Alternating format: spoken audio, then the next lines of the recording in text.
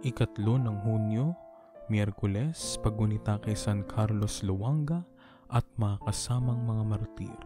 Ang mabuting balita ng Panginoon ayon kay San Marcos. Lumapit kay Jesus ang mga Saduseyo, sabi ng mga ito'y walang pagkabuhay na muli, kaya nagtanong sila, Guro, isinulat ni Moises para sa amin, kung may mga magkakapatid na lalaki at mamatay na walang anak ang isa sa kanila, kailangan kunin ng kanyang kapatid ang kanyang asawa upang magpasibol ng supling sa kanyang kapatid. Ngayon may pitong magkakapatid. Nag-asawa ang panganay at namatay na walang anak. Kaya kinuha ng ikalawa ang kanyang asawa at namatay ring walang anak. Ganito rin ang nangyari sa pangatlo. Namatay nga silang pito ng hindi nagkakaanak.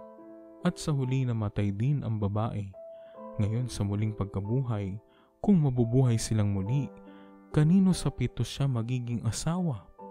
Ang pito nga ang umangkin sa kanya. Sumagot si Jesus, Hindi kaya bunga ng hindi niyo pagkaunawa sa kasulatan at sa kapangyarihan ng Diyos ang inyong pagkakamali? Sa muling pagkabuhay nga nila, hindi na mag-aasawa ang lalaki o babae, kundi para na silang mga anghel sa langit. At tungkol naman sa mga patay at sa muling pagkabuhay, hindi niyo ba inunawa ang sinabi sa inyo ng Diyos sa aklat ni Moises sa kabanata ng palumpong, Ako ang Diyos ni Abraham, ang Diyos ni Isaac, at ang Diyos ni Jacob? Hindi siya Diyos ng mga patay kundi ng mga buhay. Maling-mali kayo. Ang mabuting balita ng Panginoon. Pagsasadiwa, hindi siya Diyos sa mga patay kundi ng mga buhay.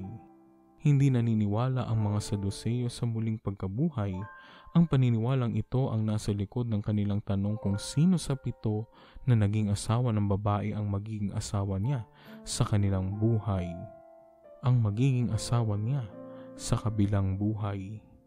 Binigyang diin ni Jesus na may ibang uri ng pag-iral sa kabilang buhay o sa muling pagkabuhay.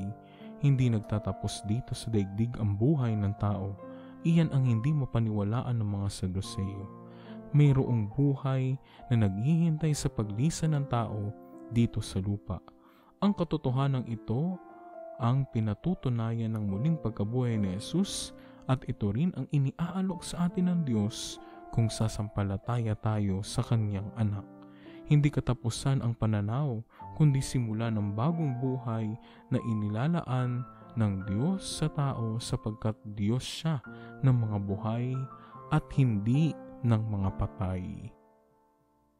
Pagsasagawa Sa ating mga pinagkakaabalahan, binibigyang pansin at pinahalagahan sa buhay dito sa lupa, isinasalang-alang ba natin ang katotohanang may buhay na ganap na naghihintay sa atin bilang mga nagsusumikap na mga alagad ni Jesus?